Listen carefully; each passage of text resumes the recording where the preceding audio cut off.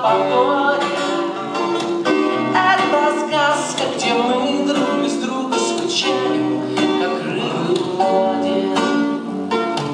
Какие круглые сутки и снова полные края и эти жуткие шутки про